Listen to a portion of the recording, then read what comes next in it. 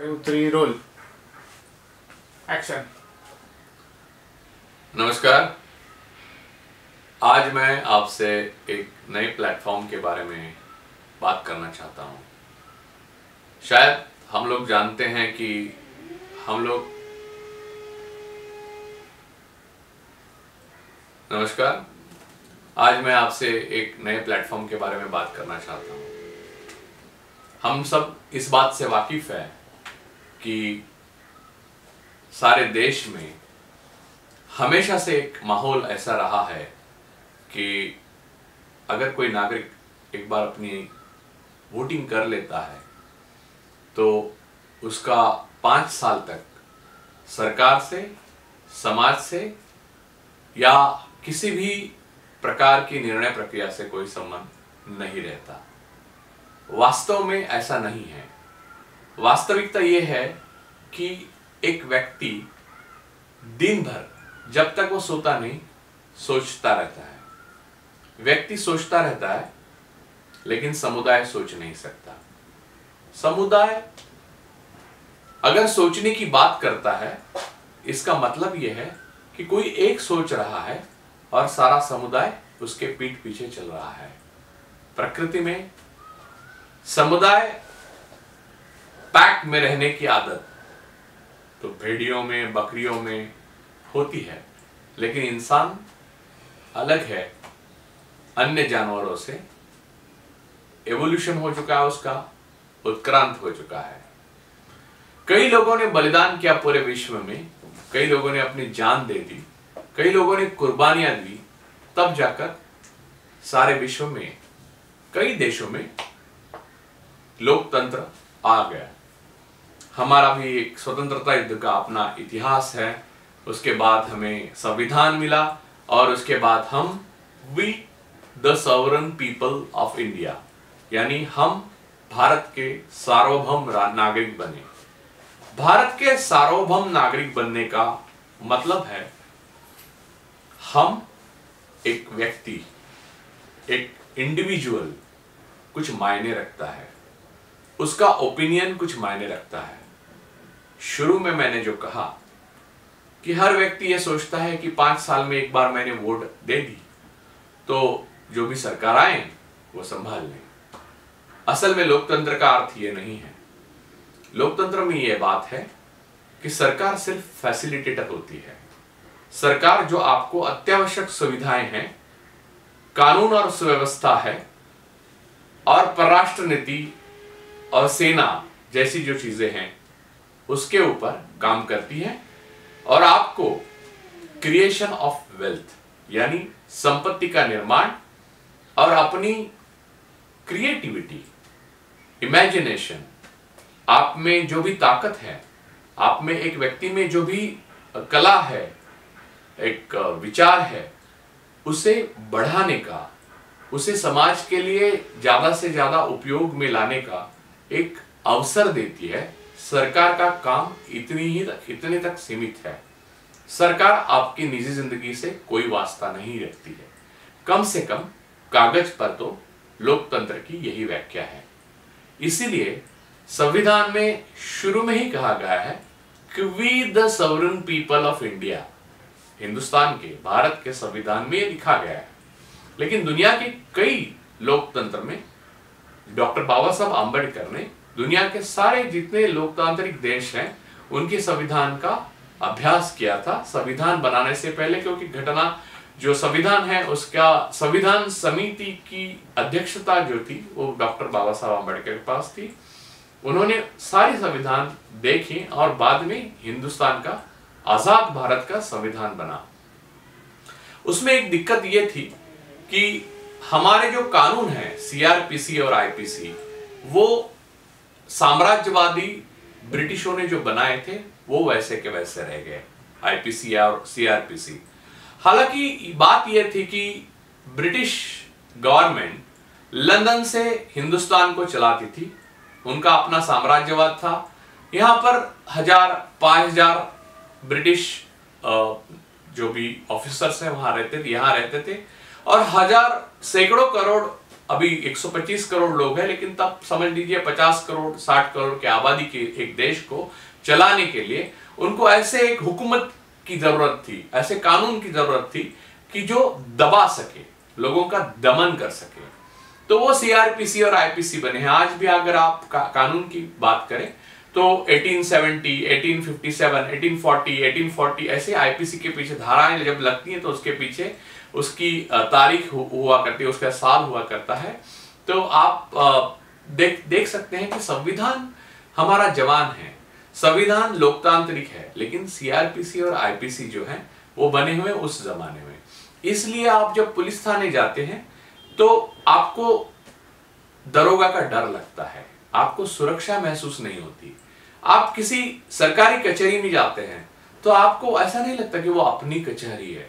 आपको ऐसा लगता है कि वो साफ़ मन मर्ज़ी आए, अपना भविष्य बिगाड़ या बना सकते हैं, इसलिए आप उनको देवता मानते हैं, भगवान मानते हैं बड़े साहब मानते हैं, जो भी है, लेकिन वो असल में 1950 26 जनवरी 1950 के बाद पब्लिक सर्वेंट बन गया। यानी वो देश की सेवा के लिए, यानी देश की जनता की सेवा के लिए हैं। इसका मतलब ये नहीं, कई लोग ऐसा मानते हैं, इसका मतलब ये है कि वो लोग लोगों के नौकर है, ऐसा नहीं है। वो आपके फैसिलिटेटर हैं। जैसे कि एक ट्रस्टी होता है, जैसे कि हम चुना, चुने हुए नेता जो हैं, वो इक्वल अमंग द ऑल है। यानी हम सबके बराबर है। यानी प्रधानमंत्री भी हो, राष्ट्रपति भी हो, एक भिकारी भी हो देश का, अगर नागरिक है तो उसे एक ही वोट है। इसका मतलब हम सब एक समान है। स्त्री हो, पुरुष हो, गोरा हो, काला हो, साउथ इंडिया से हो नॉर्थ इंडिया से हो, कहीं भी देश के किसी भी कोने से हो यह प्लेटफॉर्म जो हम बनाने जा रहे हैं, वो राजनैतिक नहीं है और ना ही सामाजिक है। हम दायरा इतना सीमित नहीं रखना चाहते और ना ही किसी के पक्ष में है, ना ही किसी के खिलाफ है। क्योंकि कई बातें जो हैं, वो ये सारी परिधि को तोड़कर आगे निकल जाती हैं। कुछ बातें होती हैं, जैसे कि कला। कला आप किसी राजनीति से, किसी सामाजिक व्यवस्था से सोचकर सीमित कर नहीं सकते। यहाँ तक की बात कभी कभी ऐसा हो जाता है कि हमारे देश में सेंसर बोर्ड है तो वो कला को अपनी, अपने दायरे में बंद करना चाहता है। कला अपने किसी भी दायरे में बंद नहीं हो सकती। हालाँकि यह है कि ये बातें कही जाती कि फ्रीडम ऑफ़ एक्सप्रेशन कोई अनंत नहीं है उसे अपनी अपनी अपनी अपनी दायरे हैं ये बात नहीं है। लोकतंत्र का मतलब यह है कि आपको अपनी आवाज़ एक व्यक्ति होने के नाते जितनी तेज़ी से और जितनी आ, कल्पना से उठाने का हक है उतना हक लोकतंत्र के सिवाय किसी भी दूसरी तरह की व्यवस्था में नहीं मिलता। और असल में यह बात है कि सरकार जो है, प्रशासन जो है, न्यायपालिकाएँ जो हैं और मीडिया जो है, उनको यह समझना चाहिए कि विरोध की आवाज़ जो है other side is also important विरोध की जो आवाज़ है, वो इतनी बड़ी लोकतंत्र में, इतने बड़े लोकतंत्र में, इतनी बड़ी जनसंख्या में बहुत मायने रखती है। क्योंकि आपको पता चलेगा कि इस बात का एक छोटा जनसमुदाय विरोध कर रहा है और क्यों कर रहा है? क्यों? सत्य और संख्या का कोई संबंध नहीं होता। दुनिया में कई बार ये ये फैसला हो चुका है कि संख्या में जो कम थे, दुनिया में कई बार यह फैसला हो चुका है कि संख्या में जो कम थे, वो लोग सत्य के साथ थे। और संख्या में जो ज़्यादा थे, या समुदाय में जो थे, वो असत्य के साथ थे। लोकतंत्र हमेशा यही आपको मौका देता है कि आप भले अकेले हैं लेकिन अपनी आवाज़, अपनी ओपिनियन आपको रखनी है और सरकार को उस पर पूरी गंभीरता के साथ विचार करना है, ना कि उसे दबाना है। हम, यानी मैं नहीं, मेरे कई साथी हैं, वो बारी बारी से आपके सामने आएँगे। ये एक प्लेटफॉर्म तैयार करने जा रहे हैं, जो ना कि सामाजिक है, ना राजनैतिक है। हम भाषा तक भी वो उसे सीमित नहीं रखना चाहते। हम आज मैं हिंदी में हालाँकि बोल रहा हूँ, लेकिन ये मराठी में भी आ जाएगा, अंग्रेज़ी में भी कभी आ जाएगा। और यहाँ यही नहीं कि यहाँ कोई गुरुडम नहीं है कि मैं बात करूँगा हर बार आपसे। बात यह है कि कई बार हम इस पे यही प्लेटफॉर्म से आप आप तक शॉर्ट फिल्म्स पहुंचाएँगे। हम लोग कई बार डिस्कशंस यहीं पे होंगे। वो जो आप तक पहुँचेंगे, हम लोग डिबेट करेंगे किसी भी विषय पर। जैसे आजकल एक गाय एक मुद्दा बन गया है। खैर, ऐसे कई विषय है कि औरत को समानता चाहिए और हम लोग ये मानते हैं कि डॉक्टर बाबा साहब आम्बेडकर ज्योतिराव फुले, ये जो महाराष्ट्र से थे और उत्तर भारत से भी कई आगे समाज उत्तर भारत से कई सामाजिक सुधार लेकर कई नेता आए।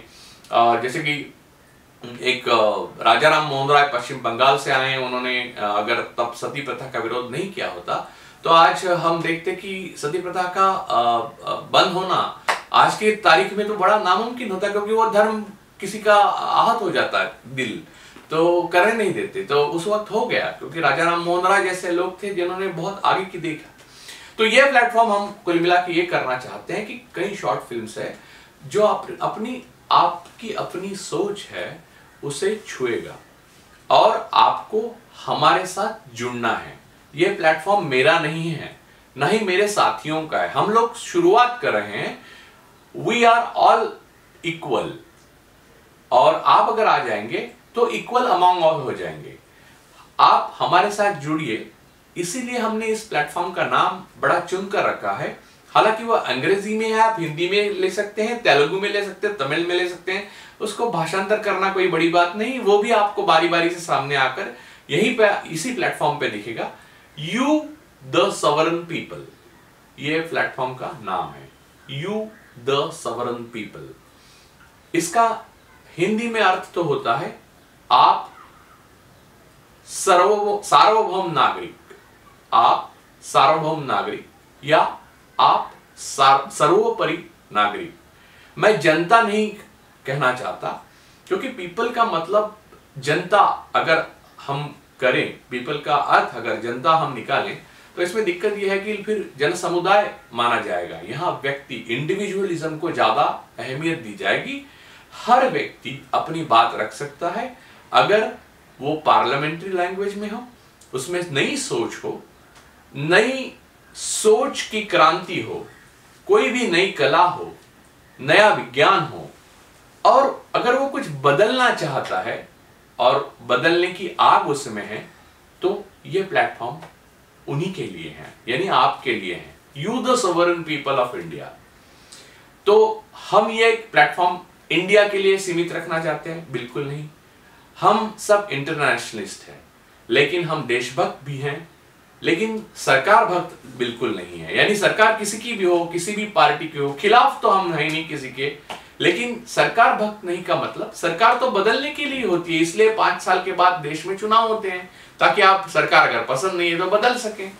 तो सरकार के साथ होना या सरकार के खिलाफ होना, ये पॉलिसी पे निर्भर करता है। सरकार अगर क्रिएशन ऑफ़ वेल्थ आपकी कला को, आपकी सोच को, नए विज्ञान को बढ़ावा दे रही है, आपको एक फैसिलिटेटर बन चुकी है, एक ट्रस्टी जैसे बिहेव कर रही है तो सरकार को साथ देने में कोई दिक्कत नहीं है। अगर सरकार ऐसा नहीं करती है तो सरकार के खिलाफ बोलना भी कोई गलत नहीं है, क्योंकि लोकतंत्र में ये आज़ादी आपको दे चुके हैं, जो हमारे पहले जो नेता थे और जिन्होंने संविधान को बनाया। बात यह है कि यह बात सिर्फ़ संविधान तक सीमित नहीं है, राजनैतिक या सामाजिक मुद्दों तक सीमित नहीं है। बात यह है कि आज की तारीख में दिखाई ऐसा दे रहा है कि लोग अपनी बात रखने के लिए डर रहे हैं। मैं ये बात सिर्फ़ एक सरकार तक सीमित नहीं रखना चाहता, मैं जब से देख रहा हूँ, मैंने बचपन से जब समझ आई, तब से देख रहा हूँ कि लोग अपनी बात रखने के लिए डरते हैं। और डरते इसलिए हैं कि दो बातें हैं, एक तो निराशा है, या तो फिर डर है। बात यह है कि उनको लगता है कि मेरे अकेले के कहने से क्या होगा? या मेरे कहने से मैं अगर अपनी बात रखू तो कौन सा बदलने वाला है यह देश या समाज या कौन? ऐसी बात नहीं है। ये दुन, इस दुनिया में कोई भी बात आप अगर लिए क्रांतिकारी कोई भी बात पहले किसी एक ने रखी। समुदाय कभी सोच नहीं सकता। एक व्यक्ति सोचता है फिर दूसरा सोचता है।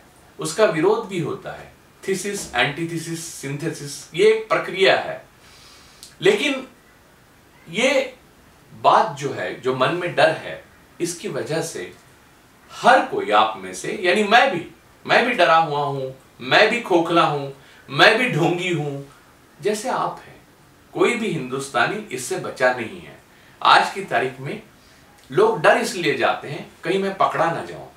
और पकड़ा कहाँ से, क्यों क्यों पकड़ा जाए, पकड़े क्यों जाएँगे? क्योंकि आप ढोंगी है। क्योंकि जो बातें, जो महान तत्व आप बता रहे हैं, वो अपनी सार्वजनिक जीवन में या अपनी निजी ज़िंदगी में आप अमल में नहीं ला सकते। इस बात को कोई अगर पकड़ के आपको बदनाम करे तो क्या होगा? इस बात से आप डरते हैं। फिर आप एक भेड़ बकरी की तरह समुदाय का हिस्सा बन जाते हैं और उनके साथ जाने लगते हैं। अपनी व्यक्तिगत सोच, अपने व्यक्तिगत विरोध, अपने अंदर की अंगार को दबा देते हैं। इस बात से आपकी अंदर की इंडिविजुअलिटी यानी एवरी पर्सन इज़ यूनिक हर व्यक्ति एक अलग व्यक्ति है। हर व्यक्ति एक क्रिएशन है प्रकृति का।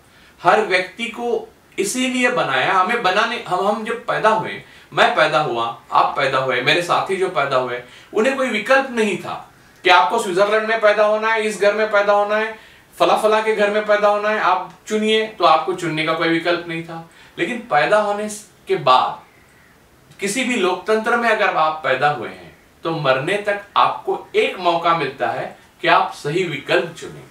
सही विकल्प हर चीज़ में चुने।